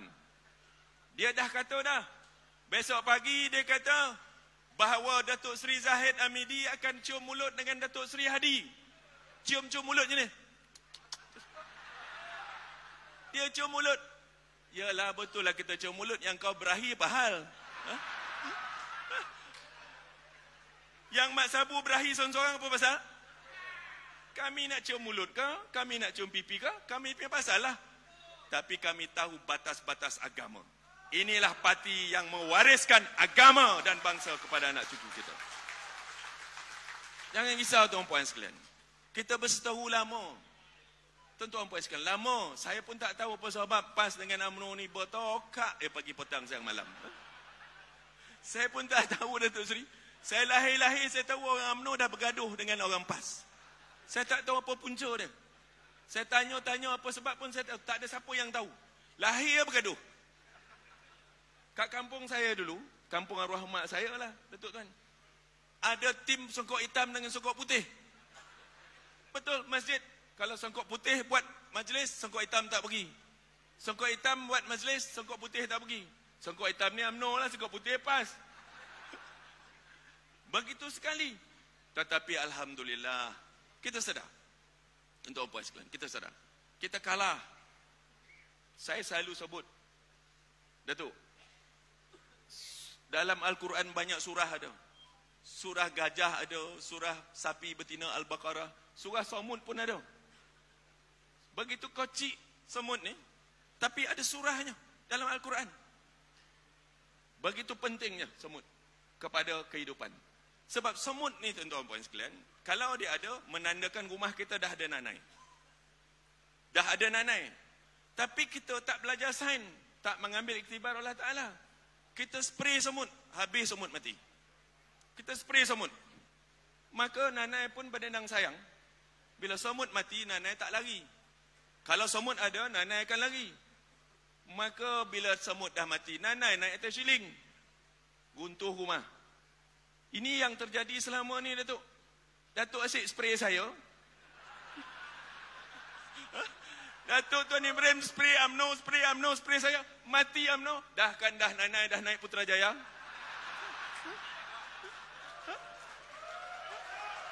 Kan? Nanai dah naik Putrajaya tuan-tuan sekalian. Negara kita akan runtuh. Dia tak tahu mentadbir negara. Maka mulai pada malam ini berjanjilah yang berhormat sahabatku. Jangan kita spray sesama sendiri. Kita membeli, kita beli spray yang lebih baik. Kita spray nanai Pakatan Harapan tuan-tuan puan dan sekalian. InsyaAllah ya. Kita bagi dia mati. Dan matlamat utama kita. Tidak lain tidak bukan. Jangan pandang gambar kocik-kocik. Jangan pandang kata cerita memali cerita itu cerita. Forget it. Kita pandang ke depan. Buat macam kereta. Ceromin depan lebih besar pada ceromin pandang belakang. Ya? Ceromin depan besar. Kalau ceromin belakang besar, ceromin depan kocik, belanggar kereta. Kita tengok ke depan. Kita maju ke depan. Let's move forward. Jangan fikir pasal-pasal yang belakang-belakang tuan sekalian. Kita maju ke depan. Kita atur strategi. Matlamat utama kita pilihan raya ke-15. Pakatan Harapan mesti kita kalahkan tuan-tuan sekalian. Insya-Allah. Begitu kita punya strategi, itu sebab dia takut. Itu sebabnya Pakatan Harapan mimpi siang malam. Dia mimpi pandang nampak muka Datuk Seri Zaid. Dia nampak muka Datuk Seri Hadi. Biar dia mimpi. Kita buat kerja kita elok-elok. Jangan bertelingkah. Jangan fikir pasal masalah kocik-kocik. Jangan cerita pasal Tampin. Jangan cerita pasal Kopilah. Jangan cerita pasal Bangga Datuk. Cerita pasal Malaysia. Cerita bagaimana harusnya Pakatan Harapan perlu kita tewaskan pada pilihan raya ke-15 tuan-puan sekalian. Itu keutamaan kita. Jangan kita berketelingkah. Pandailah nanti. Pasal kerusi pandailah presiden kita dua-dua presiden. Dia berpakat elok-elok. Bak kata orang tua-tua, muafakat punca selamat. Sengketa punca celaka. Jangan bersengketa. Berpakat elok-elok. Bulat air dek pemotong, bulat kata dek muafakat. Muafakat elok-elok. Bila kita beradat macam ni, beradat dalam torang. Kita cakap. Bercakap pasal kerusi dah tu. Itu kita berunding. Beradat dalam torang, berunding dalam golap. Datuk Seri, bila berunding, berundinglah dua orang bergelap. Datuk Seri nak buat apa, buatlah. Eh? Asalkan tahu batasan-batasan, jangan jadi sebagai pengikut Pakatan Harapan. Eh? Mana tahu pula tergugat iman Datuk Seri? Tapi dengan Datuk Seri Tan Ibrahim tak ada kan? Jadi, apa kata? Jangan kita yang pekat bawah ni bising-bising pasal kerusi. Ini saya dah dengar dah ni. Huh, macam mana kerusi?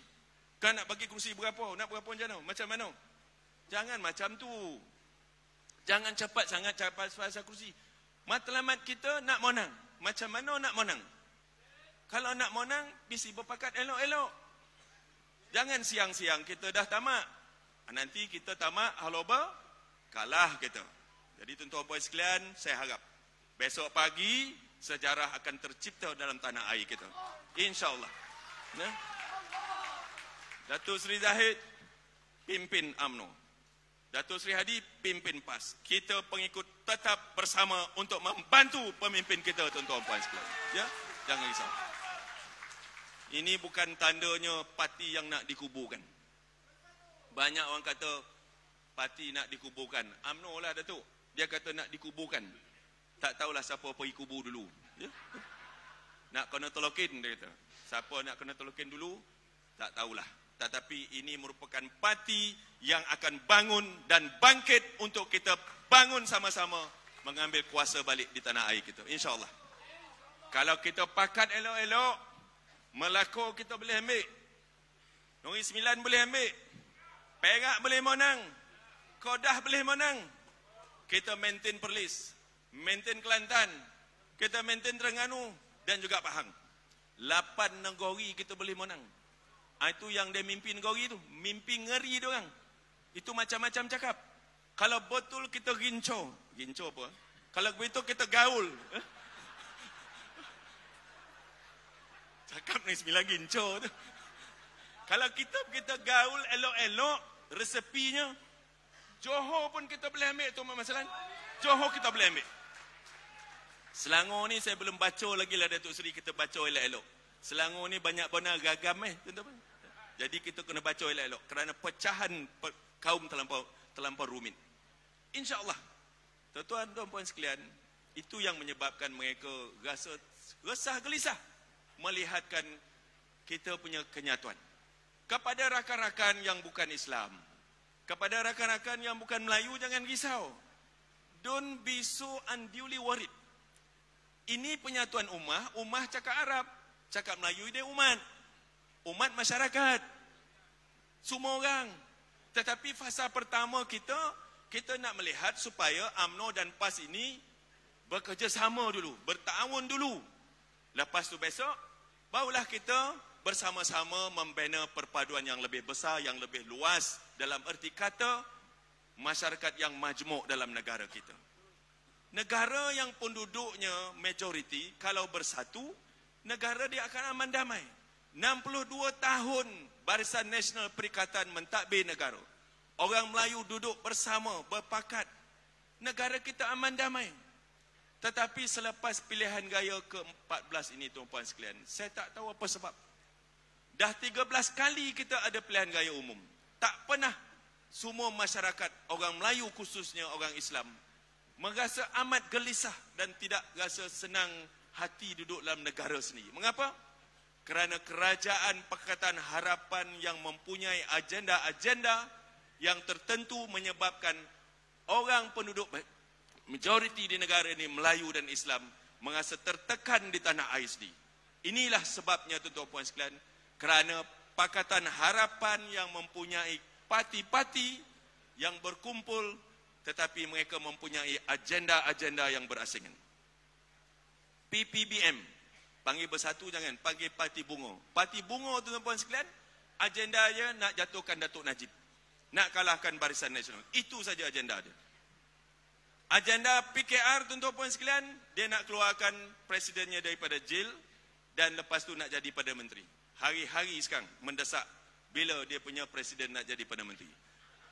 PAN tuan-tuan sekalian, dia punya parti ini parti yang ditaja oleh DAP dalam PAS dulu.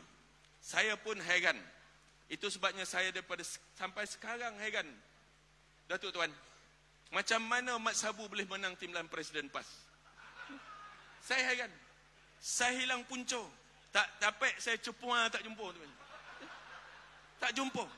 Macam mana Mat Sabu boleh tu? Dia tak tahu apa-apa. Boleh menewaskan Ustaz Nasaruddin. Itu sebabnya ada agenda tangan-tangan yang boleh ataupun tangan-tangan yang menjalankan agenda dalam PAS nak melihat PAS pecah pada kita itu. Dan jelas hari ini kalau ada isu-isu agama Islam, maka panlah yang akan diketengahkan. Maka abang mujahid kita akan bercakap yang bukan-bukan. Tak boleh jawab, dia cakap itu antara dia dengan Allah Ta'ala. Tuan-tuan puan sekalian, DAP pula agendanya Malaysian-Malaysia. Dia tak kira apa. Dia nak buat Malaysia-Malaysia, iaitu menuju ke arah negara republik. Dia duduk sebantal. Tidur sebantal tetapi mimpi lain-lain. Itu sebabnya Pakatan Harapan tak perlulah saya cakap tentang keburukan mereka. Tetapi tak boleh mentadbir. Dia tak boleh mentadbir menjadi sebagai negara gagal. Parti yang gagal mentadbir negara. Hari ini tidak ada hala tuju. Ekonomi kita mengudum. Dia ambil alih daripada tangan Barisan Nasional negara yang sedang membangun. 2017 kita punya KDNK, kita punya GDP hampir 6%. 5.9%. Tuan-tuan puan sekalian, negara kedua terbaik dalam Asia selepas negara China. Tetapi tuan-tuan puan sekalian, tak sampai satu tahun setengah, baru satu tahun empat bulan, mereka telah pun diramalkan oleh macam Bank Dunia dan juga penarapan antarabangsa. Kemungkinan ekonomi kita tahun ini cuma boleh tumbuh 4.5%. Tuan-tuan bayangkan hampir 2.5% penguncupan ekonomi kita akan berlaku. Berapa banyak jumlah yang akan hilang tuan-tuan sekalian. Orang akan hilang kerja, syarikat akan tutup dan macam-macam lagi. Syarikat Giant tuan-tuan sekalian, supermarket terbesar di bawah kelolaan saya dulu. Sama juga dengan cold storage. Akan tutup semua dia punya outlet penghujung tahun ini tuan-tuan puan sekalian. Kerana mereka terkesan dengan kuasa beli orang rakyat Malaysia dah tak ada lagi. Tuan-tuan puan sekalian, kita punya pasaran saham bulan Mei 2018 diniagakan pada paras mata 1868 mata. Hari ini terkial-kial untuk naik 1600. Tuan-tuan puan sekalian, 200 hampir 300 mata telah pun jatuh. Kalau dalam bentuk mata wang, hampir 400 bilion lesap begitu saja. Harta kita lesap begitu sahaja kerana penguncupan dalam dagangan pasaran saham. Menteri-menteri itu puan sekalian tak tahu apa dia cakap. Saya lupa nak tanya tadi. Sebelum tuan-tuan datang sini dah minum belum minyak kelapa sawit seorang satu sudu? Ha? Dah minum belum? Minyak kelapa sawit terus rendah. Rupa-rupanya satu sudu tak cukup tuan-tuan sekalian. Kita kena minum satu botol satu hari. Untuk tolong dia kata ada langsung wawasan tuan-tuan sekalian. Orang kampung susah. Harga betul RM380 satu tan buah mentah ataupun buah fresh fruit di dalam harga yang ditetapkan. Tetapi peraih tak mau ambil tuan puan sekalian. RM300 saja dia ambil. Itu pun kalau buah dia cantik. Macam mana nak makan? Orang Felda sekarang tertekan.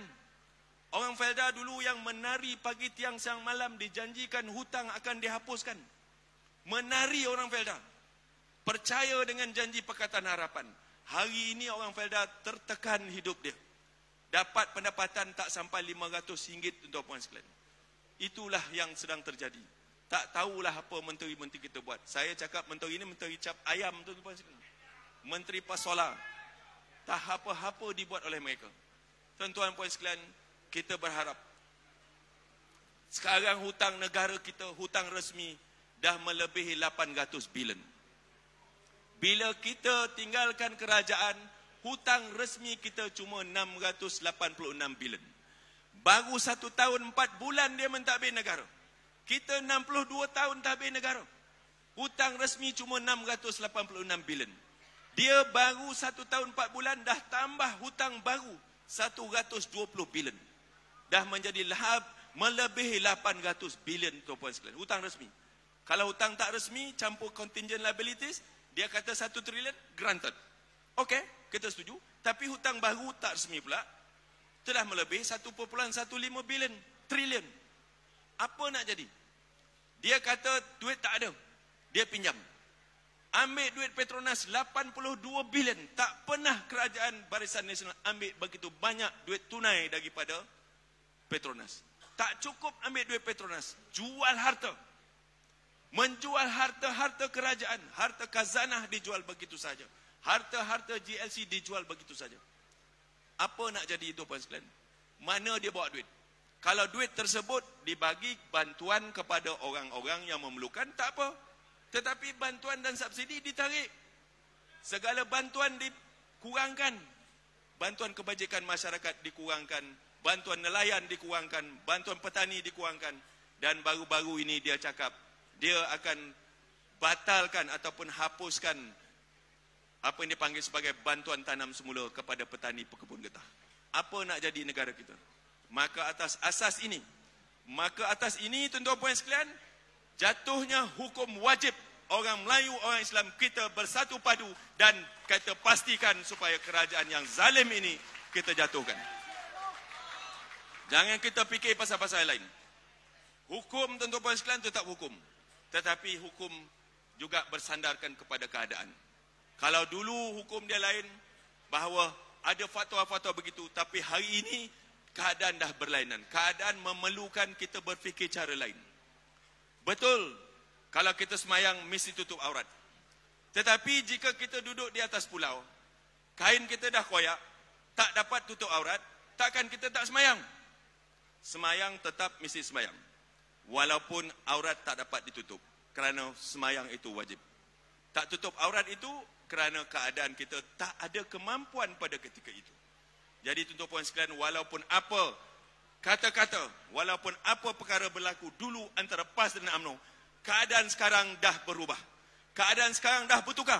Keadaan sekarang memerlukan kita, wajibkan kita untuk bersatu untuk kita memerangi orang yang memerangi kita tuan-tuan puan sekalian iaitu Pakatan Harapan. Jadi tuan-tuan puan sekalian mari kita bersatu padu. Balik ke kawasan masing-masing. Kita dah bagi tahu dah. Jawatan kuasa perunding, jawatan kuasa teknikal.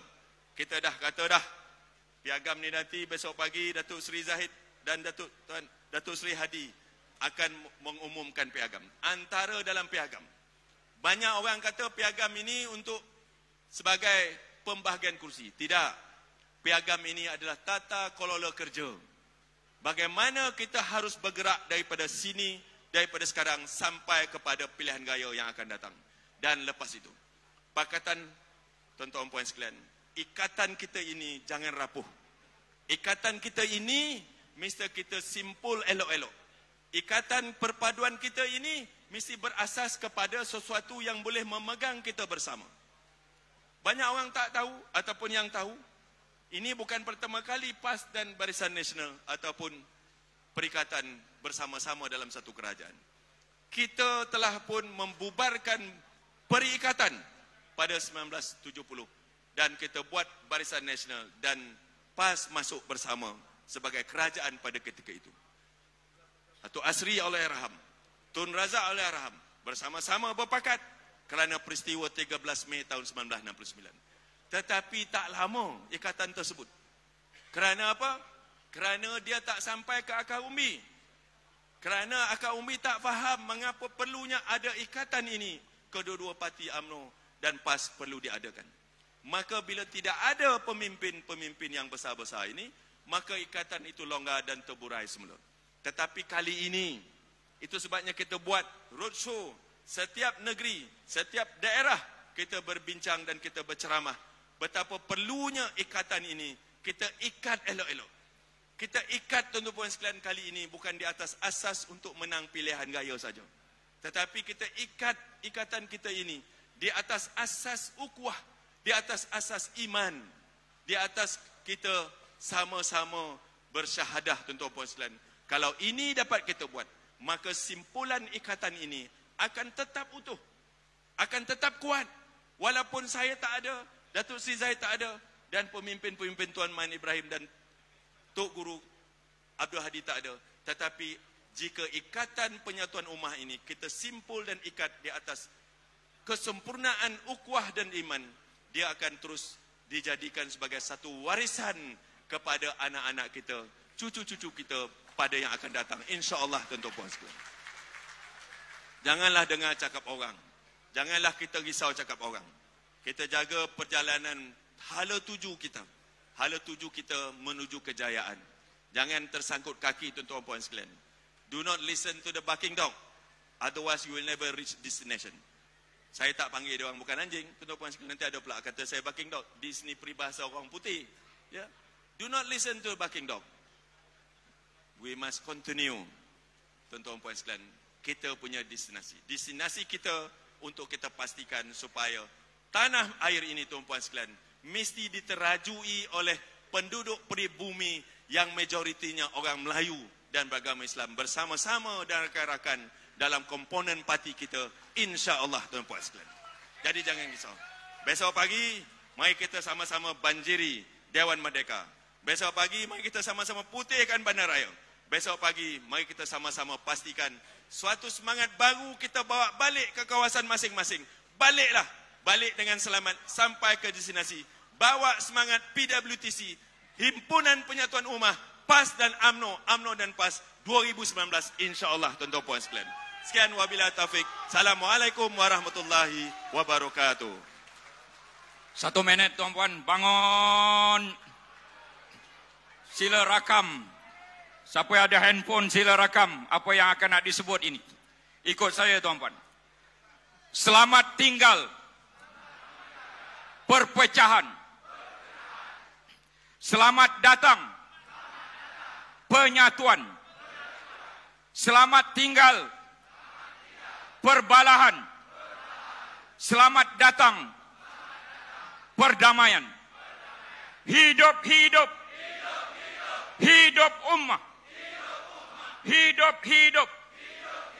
Hidup rakyat. Tolak tolak. Tolak PH. Hancur hancur. Hancur zalim. Terima kasih Presiden, terima kasih timbalan-timbalan Presiden, naib-naib Presiden, ahli Majlis Kerja Tertinggi, ahli jatuhan kuasa PAS Pusat. Kita bertemu esok paling lewat 9 pagi, paling lewat. Lagi awal datang lagi bagus. Kalau tak balik terus pun lagi bagus tuan-tuan. Mohon maaf kalau salah silap. Sekian wabillahi taufik wal hidayah. Wassalamualaikum warahmatullahi wabarakatuh. Takbir.